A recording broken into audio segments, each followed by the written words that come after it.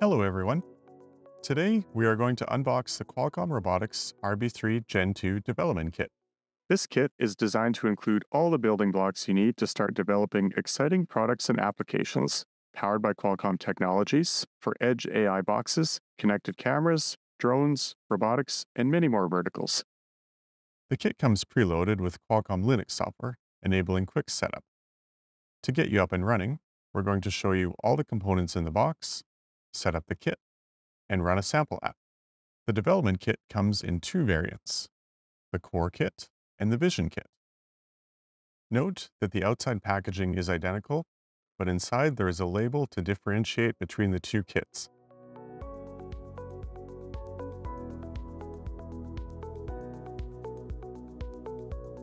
Out of the box, the core kit contains the Qualcomm RB3 Gen 2 device,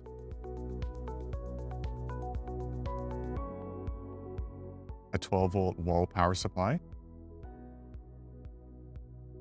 a USB-A to USB-C cable, USB-A to micro USB cable, two speakers, and a pick tool to help set the dip switches. For reference, the Vision Kit includes the Qualcomm RB3 Gen 2 Core Kit with the Vision Mezzanine attached, the IMX577 high-resolution camera, and the OV9282 tracking camera.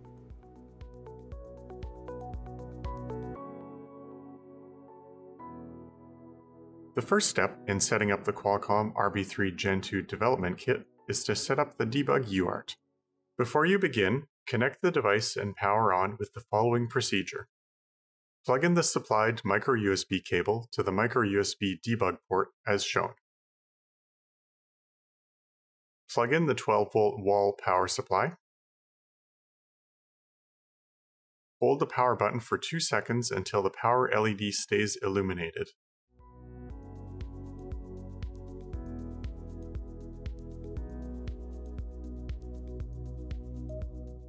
Now, let's proceed to the setup. First, you will have to install Minicom on your Linux host. To do this, run the following commands.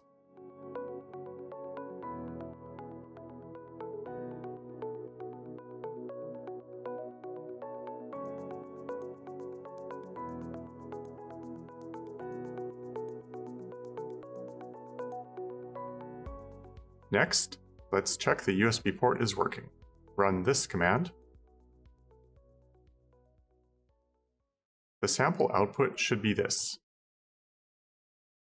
Now that you have Minicom installed, let's open it by running this command. You will see a set of configuration options. Use the down key and select the serial port setup option. Now, let's configure the serial port for the device by following these steps. Press A on your keyboard to set up the serial device name and press Enter to save the changes. Next, press E on your keyboard to set the baud rate to 115200. If the baud rate is not set to 115200, press the E key again. After that, press Q on your keyboard to set the configuration to 8 and 1. Now, press Enter to save the changes. Press F on your keyboard to set the hardware flow control to No.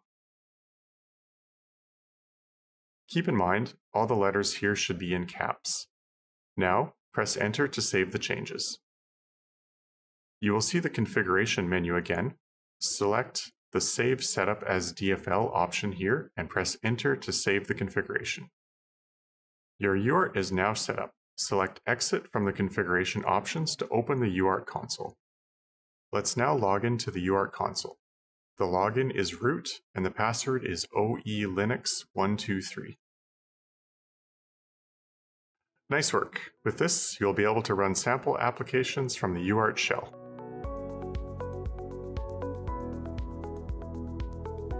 Before you can connect to SSH shell, you need to set up Wi-Fi. The Wi-Fi is operational in station mode. When the device boots up, the Wi-Fi host driver and the authentication for network management are initialized.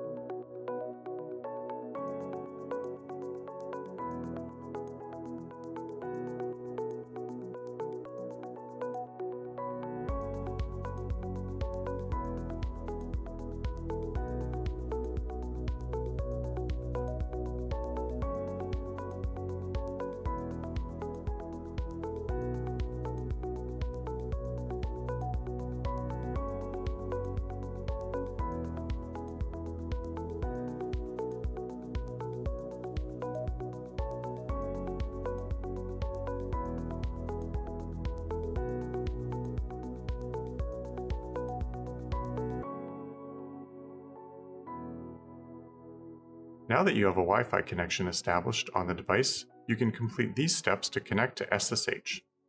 First, in the UART console on the Linux host, find the IP address of the Qualcomm RB3 Gen 2 device by running the following command. From the Linux host, run the following command to SSH into the device and use the device's IP address.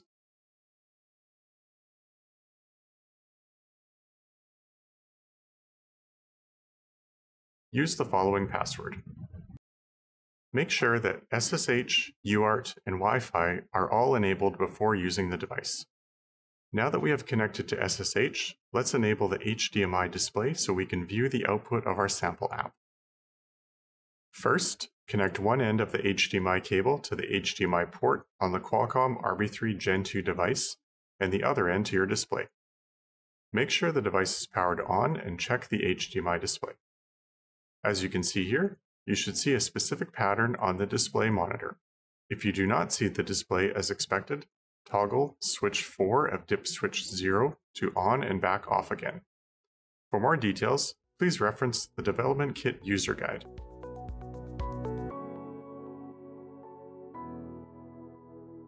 The Qualcomm Linux release comes with several sample applications for different multimedia and AI use cases. Let's go over an example for multi-camera streaming or encoding using Dashcam.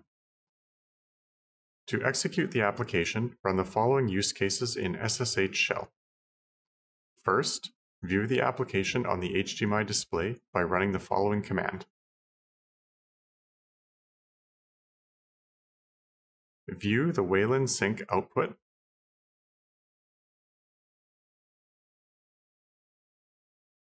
Next, view the encoder output. To stop the use case, press Ctrl-C. To display available help options, run the following command. And lastly, run the Qualcomm GStreamer debug output to enable logging. For example, to log all warnings, run the following command.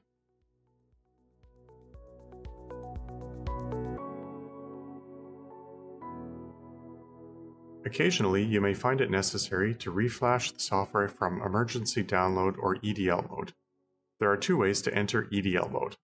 The first method uses a software command. From the host computer serial terminal, enter the command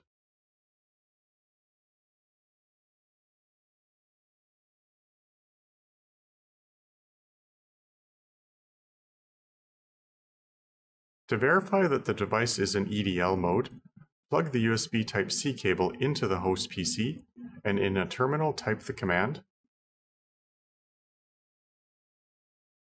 The expected output will be as shown. In the second method, we will press a hardware button. First, with no other cables connected, plug in the 12 volt wall supply.